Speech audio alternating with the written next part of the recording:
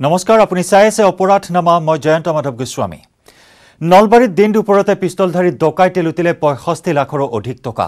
ধন লুটি এজন প্ৰত্যক্ষদৰ্শীক গুলীয়াই বাইকেৰে উঠা হ'ল চাৰিজনীয়া ডকাইতৰ দল।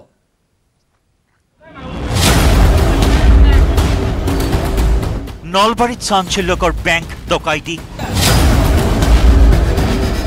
গুলী চলাই লুটিলে পঁয়ষষ্ঠি লাখৰো অধিক টকা। ডকাইতৰ গুলীত আহত যুৱক। শুকুৰবাৰে দুপৰীয়া গ্ৰাহকৰ বেশত নলবাৰী ৰময়াপুৰত থকা পঞ্জাৱ নেশ্যনেল বেংকত সোমাল চাৰি ডকাইত। মূৰত হেলমেট মুখত মাস্ক পিন্ধি বেংকত সোমোৱাৰ পাছতে ডকাইতৰ দলে উলিয়াই ল'লে পিষ্টল। বেংকৰ বিষয়া কৰ্মচাৰীক গান পইণ্টত ৰাখি যুৱকৰ দলে কাঢ়ি ল'লে লকাৰৰ চাবি। তাৰ পাছত বেংকৰ ভিতৰতে গুলী চলাই দিন ডকাইতে লুটি নিলে পঁয়ষষ্ঠি লাখৰো অধিক টকা। মাত্ৰ দহৰ পৰা বাৰ মিনিটৰ ভিতৰতে ধন লুটি বাইকেৰে উঠাও হ'ল দুৰ্বৃত্তৰ দল। কালি ফিফটি ফ'ৰ লাখ আহিছে আজি কিমান জমা আহিছে তুমি নাজানো এতিয়া। আমাৰ কাষ্টমাৰ দ্বাৰা আহিছে সিহঁতে আহি মেনেজাৰ বিচাৰিছে আজি। মেনেজাৰক পিষ্টল দেখুৱাইছে। চাবি ক'ত? পিষ্টল চাবি উঠাব মই ইয়াৰ পৰা গোটেইখিনি পইচা লৈ গৈছে। পইচা লৈ গুচি গৈছে। মোক তাৰ পৰা ওলাই দিছে উলিয়াই দিছে আকৌ ইয়াতে বহাই থৈ দিছে। দহ মিনিট বাৰ মিনিটমান সময়তে এইখিনিতে শেষ কৰি পেলাইছে। বেংকৰ ভিতৰত গুলীৰ শব্দ শুনাৰ পাছতে বেংকৰ কাষত গোট খালে স্থানীয় লোক। আতংকিত লোকসকলে তৰ্কিব পৰাৰ আগতেই বেংকৰ বাহিৰতো উঠাই মুঠাই গুলীয়ালে ডকাইতৰ দলে। ডকাইতৰ গুলীয়ে আঘাত কৰিলে নয়ন দাস নামৰ এজন স্থানীয় যুৱকক। ভৰিত গুলী লগা নয়ন দাস এতিয়া চিকিৎসাধীন হৈ আছে গুৱাহাটী চিকিৎসা মহাবিদ্যালয়ত। তাহাঁতে ওলাই এঘাৰ সময়ত মই বাহিৰত তাতে চিঞৰ দিলোঁ ডকাইত ডকাইত ডকাইত মানুহখিনি জম লগাই ল'লে আৰু ব্লেংফাৰ কৰি দিলাক এটা কোনোবাৰ কাৰোবাৰ কাৰোবাৰ লৈ গাত এটা গুলিও লাগছে বোলে ভৰিত। চাৰিজন চাৰিজন দুখন বাইকত চাৰিজন। কি বাইক এই পিছত দেখি ডাঙৰ বাইক আজিকালি। নাম্বাৰ নাম্বাৰ চাম্বাৰ নাম্বাৰ নাই ব্লেক ব্লেক ইংকি মাৰা আছে ব্লেক ইংকি মাৰা আছে। হিন্দী ভাষাতে ধমক দিছিল ডকাইতৰ দলে। মংগোলীয় মুখাবয়ৱৰ ডকাইতৰ দলটো কাষৰীয়া ৰাজ্যৰ পৰা অহা বুলি সন্দেহ বেংক কৰ্মচাৰীৰ। আহি পেলাই মোৰ তালৈ সোমাই গৈছে পিষ্টল দেখুৱাইছে বাহিৰ নিকালোঁ বাহিৰ নিকালোঁ এচাইডে মই বাহিৰত ওলাই আহিলোঁ আহিলোঁ তাৰে পইচাখিনি চবখিনি ওলাই লৈছে মণিপুৰী হেন টাইপৰ মানুহজন অলপ সেনেহেন টাইপৰ লাগে तो एक तो अंदर आया था पूरा बंदूक लेके बाद में मैनेजर कहाँ है पूछा उसके बाद दो तीन फायर राउंड फायरिंग किया उसके बाद फिर अ, बोला कैस कहाँ है गाली उली बका নলবাৰী চহৰৰ মাজমজিয়াত সংঘটিত ডকাইতি কাণ্ডৰ খবৰ পোৱা মাত্ৰকে ঘটনাস্থলীত উপস্থিত হৈ আৰক্ষীয়ে আৰম্ভ কৰিছে তদন্ত। ইতিমধ্যে ঘটনাস্থলীৰ পৰা আৰক্ষীয়ে জব্দ কৰিছে তিনি জাই খালী কাৰ্টিজ। লগতে আৰক্ষীয়ে জব্দ কৰিছে বেংকৰ ভিতৰত সংযোজিত প্ৰতিটো চি চি কেমেৰাৰ ফুটেজ। এই প্ৰাৰম্ভিক তদন্ততে ভাইটেল ক্লু লাভ কৰা বুলি দাবী কৰিলে নলবাৰীৰ আৰক্ষী অধীক্ষকে। এইটো যিটো ঘটনা হৈছে তো এতিয়া আমি গোটেই তদন্ত যিটো আছে আৰু আমাৰ আৰম্ভ হৈছে আৰু আমি বহুত ডেফিনেট লিডছো পাইছোঁ ঠিক আছে? অলৰেডি আমি চি চি টিভি ফুটেজো চাইছোঁ মানুহৰ লগত কথাও পতা হৈছে। ডেফিনেট লিডো আছে কি কোন ইয়াত মানে জড়িত হ'ব পাৰে। দহ মিনিটৰ ভিতৰতেই পঞ্জাৱ নেশ্যনেল বেংকৰ পৰা পঁয়ষষ্ঠি লাখ টকা লুটি চাৰি ডকাইতে বাইকেৰে পলায়ন কৰা ঘটনাই নলবাৰীত সৃষ্টি কৰিছে চাঞ্চল্যৰ।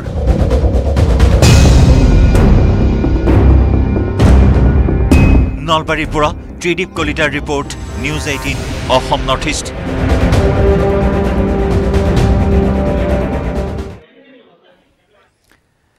অচিন কাঠৰ থোৰা লগাই বিপদত তেজপুৰৰ যুৱক।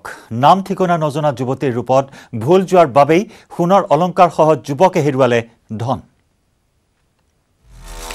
অচিনাকি সুন্দৰীক বিয়া পাতি বিপদত তেজপুৰৰ যুৱক তেজপুৰ বাছ ষ্টেণ্ডত সুন্দৰীৰ সৈতে চিনাকি। গোলাঘাট বাছ ষ্টেণ্ডত সপোন ভাগিল যুৱকৰ। বাটতে পোৱা সুন্দৰীক বিয়া পাতি বিপদত তেজপুৰৰ দীপজ্যোতি কলিতা। ঠিকনা নাজানে। নাজানে পৰিচয়ো। তাৰ পাছতো সুন্দৰীৰ ৰূপত ভুল গৈ পাতিলে বিয়া।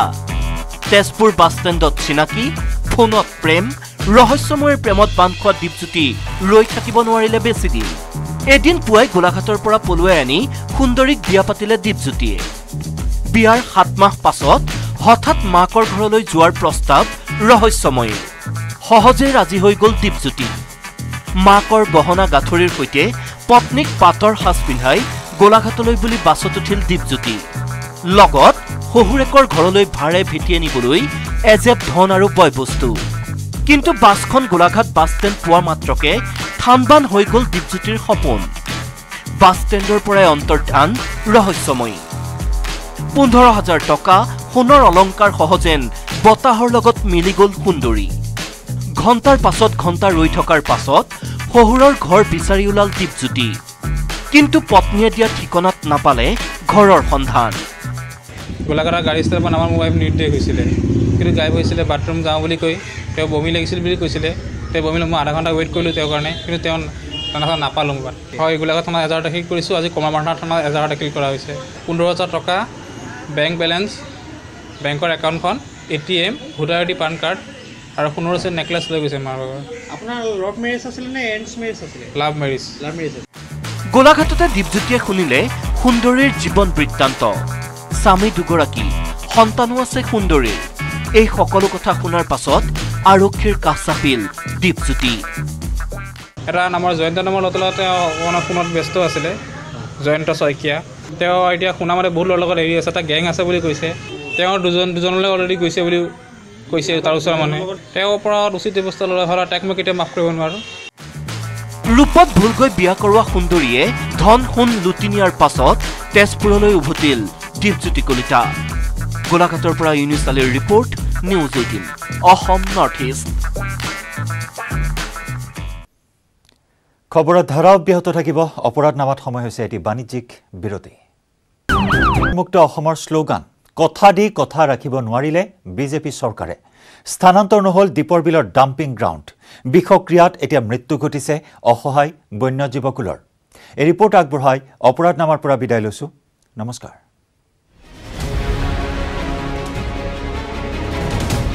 দীপৰ বিলৰ মনোমোহা সৌন্দৰ্যলৈ ভাবুকি। ডাম্পিং গ্ৰাউণ্ডে বিপদ মাতিছে দীপৰ বিললৈ। ডাম্পিং গ্ৰাউণ্ডৰ বিষক্ৰিয়াত মৃত্যু বিলৰ জীৱকুল বৰাগাঁৱৰ বৃহৎ অঞ্চলজুৰি প্ৰদূষিত জলবায়ু। এই অভিযোগ এতিয়াৰ নহয়। দীৰ্ঘদিনে অভিযোগ প্ৰকৃতিপ্ৰেমী তথা অঞ্চলবাসীৰ। পিছে বহু অভিযোগ দাখিল হ'ল যদিও ডাম্পিং গ্ৰাউণ্ডৰ সমস্যা সমাধানৰ নাই কোনো পদক্ষেপ। আনকি দীপৰ বিলৰ সংৰক্ষণৰ স্বাৰ্থত মহানগৰীৰ পৰা ডাম্পিং গ্ৰাউণ্ড স্থানান্তৰৰ প্ৰশ্ন উঠিছিল। কিন্তু সময়ত সকলো ফুটুকাৰ ফেন। প্ৰদূষণমুক্ত অসম গঢ়াৰ শ্লোগান দি দিছপুৰৰ শাসনৰ গাদী লোৱা সোণোৱাল চৰকাৰৰ কাৰ্যকালত নহয় ডাম্পিং গ্ৰাউণ্ড স্থানান্তৰ স্পষ্ট কৰিলে গুৱাহাটী পৌৰ নিগম আয়ুক্ত ঘনশ্যাম দাসে গাৰ্বেজ বিন जो ये ডাঙৰ ডাষ্টবিন আছে ये ফ্ৰী চিটি বনি যায় ইয়াৰ কাৰণে আমি ভেহিকল পাৰ্চেজ কৰিছোঁ এই by December end by year end আমি ভেহিকল পাই যাওঁ তেতিয়া আমি ইয়ে ডাঙৰ বিন অতৰাব পাৰোঁ কিছুমান আমি ট্ৰান্সফাৰ ষ্টেচন বনাওঁ কিছুমান আমি ষ্টেণ্ডিং কম্পেক্টত ৰাখি দিম তেতিয়া আমাৰ এই গাৰ্বেজ বিন जो ডাঙৰ বিন আছে ये সব ৰিমুভ হৈ যাব ছেকেণ্ড আমাৰ টেকনিক মেইনলি আমাৰ কিছু কিছুমান জবৰাটো ডাইৰেক্টলি বৰগাঁৱতে যাব এতিয়া আমাৰ এন জি অ' হাতত এটা ই টিপ্পাৰ আছে ইয়াৰ পিছত আমি তিনিটা দি দিম তেতিয়া তেওঁলোকে ডাইৰেক্টলি বৰগাঁৱত কিছুমান ফিফটি পাৰ্চেণ্ট য'ত বৰগাঁও ওচৰত আছে ডাইৰেক্টলি বৰগাঁৱত লৈ যাব পাৰিব।